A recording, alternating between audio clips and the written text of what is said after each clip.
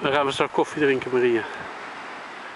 Nou, ik weet niet meer hoe het heet, maar zeker hier beneden waar eh, de bootjes liggen. Oh ja.